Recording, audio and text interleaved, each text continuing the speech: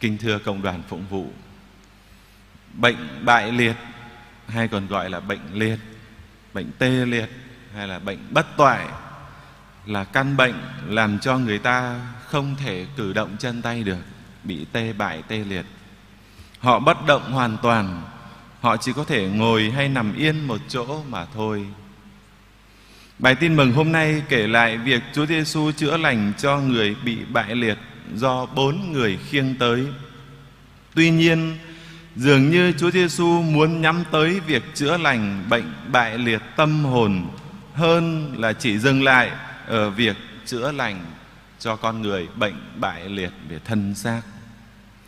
Bệnh bại liệt tâm hồn đó là căn bệnh do tội lỗi gây ra nó làm cho tâm hồn con người bị tê liệt bị tê cứng hoàn toàn nó làm cho con người bị liệt khả năng yêu thương, liệt đức tin của mình.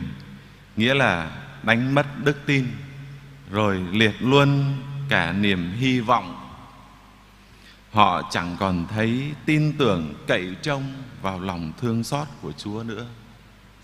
Nó làm cho người ta cứ nhắm mắt đưa chân, làm liều, làm càn, mà chẳng thấy có một chút sợ hãi nào cho phần rỗi của linh hồn mình. Đó là bệnh bại liệt của tâm hồn, bất động, không làm gì hết. Đó mới thật sự là căn bệnh bại liệt nguy hiểm, thưa cộng đoàn. Do đó, trước khi chữa lành bệnh bại liệt về thể xác, Chúa Giêsu tuyên bố chữa cho cái người đó khỏi bại liệt tâm hồn trước. Ngài nói, tội của con được tha. Ngài tha tội cho anh ta trước, Ngài chữa lành anh ta trong tâm hồn trước, Ngài tẩy sạch tâm hồn anh ta trước khi cho anh ta được khỏi bệnh thể xác Kính thưa cộng đoàn, Chính điều ấy lại làm cho những người kinh sư Pharisêu ở đó vô cùng bức xúc đối với Chúa Giêsu. Họ cho rằng quyền tha tội chỉ thuộc về một mình Thiên Chúa mà thôi. Đức Giêsu lại tuyên bố Ngài có quyền tha tội ở dưới đất này. Người Do Thái liền tố cáo Đức Giêsu phạm thượng. Họ cho rằng ông Giêsu này chỉ là một con người bình thường, làm sao ông dám nói tha tội cho người khác được? Những luật sĩ biệt phái kiên quyết không tin Đức Giêsu là Thiên Chúa. Đức Giêsu thì quyết tâm chứng minh cho họ thấy chính Ngài là Thiên Chúa, chính Ngài có quyền tha tội.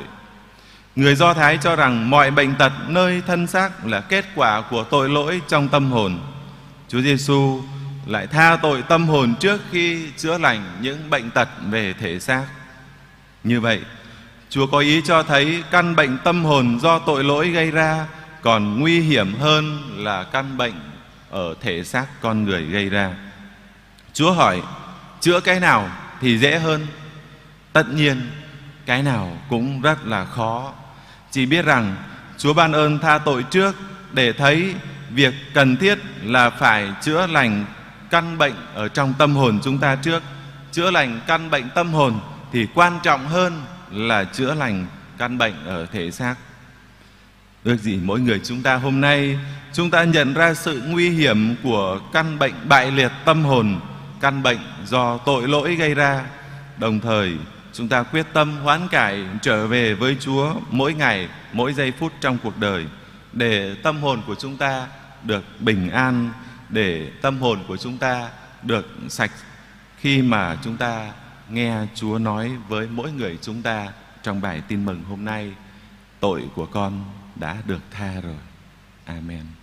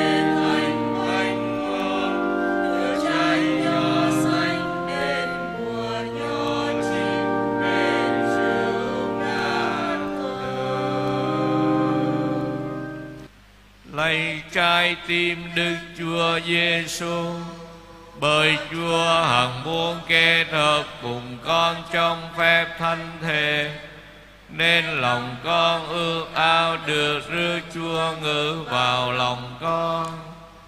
Nhưng bây giờ con không được rước thân mình thanh mau thanh Chúa thì ít nữa là xin Chúa hãy ngự vào lòng con cách thiêng liêng.